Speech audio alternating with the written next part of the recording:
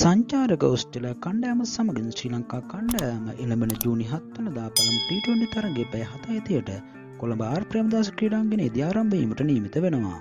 කෙසේ වෙදත් මෙම තරගාවලියට වර්සාාවෙන් බාධ මතුව හැකි බවට අන්තර්ජාතික කාල්කුණ වාර්තයක් කියා සිටියත් අපි ප්‍රාර්ථනා කර මෙම තරගාවලට කාලකුණින් බාධ ඇති නොවේවා කියලා.